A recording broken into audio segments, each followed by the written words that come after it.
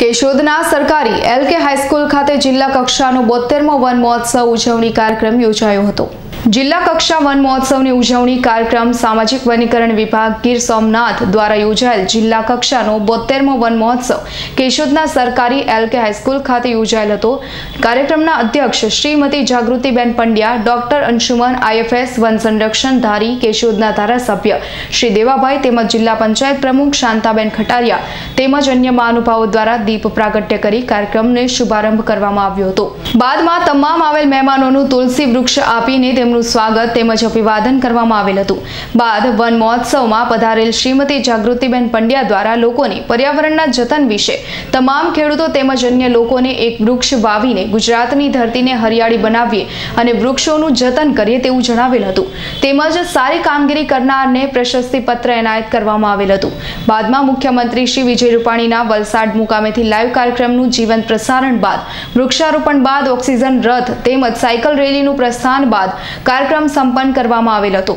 આ કાર્યક્રમના કેશોદના આરએફઓ શ્રી ગુલાબ સુહાગ્યા તેમજ તેમના સ્ટાફ દ્વારા કાર્યક્રમની જહેમત ઉઠાવેલ હતી. મુખ્યમંત્રી શ્રી વિજયભાઈ, આપણા સંવેદનશીલ મુખ્યમંત્રી, જેમણે એકવીસમાં સાંસ્કૃતિક વનનું આજે લોકાર્પણ કર્યું છે, જે ખુલ્લું મૂક્યું છે.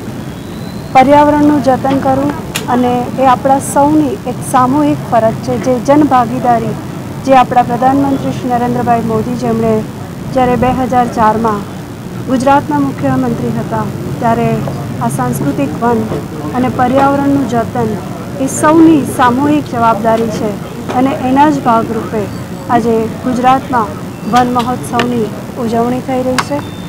વન મહોત્સવ અને પર્યાવરણનું જતન વૃક્ષો એ આપણી જેને કહેવાય કે અમૂલ્ય સંપત્તિ છે ને સંપત્તિની જતન કરવું એ દરેકની ફરજ છે ને એના જ ભાગરૂપે આજના વન મહોત્સવ પ્રસંગે એટલું ચોક્કસ કહીશ કે આપણને છેલ્લા દોઢ વર્ષના મહામારી જેને કહેવાય કે કોરોના કાળે આપણને ઓક્સિજન અને વૃક્ષોનું જતન એ આપણા માટે દરેકે દરેક માટે કેટલું મહત્ત્વ છે એ આપણે સૌ જાણીએ છીએ. તો આજના દિવસે એટલું ચોક્કસ કહીશ કે દરેકે ઘર ઘર પ્રાંગણમાં, જો ગુજરાતના આપણે ગ્લોબલ વોર્મિંગની જે સમસ્યા છે અને એને જ નિવારવા માટે, મહામારીને નાથવા માટે પણ આપણે જોયું.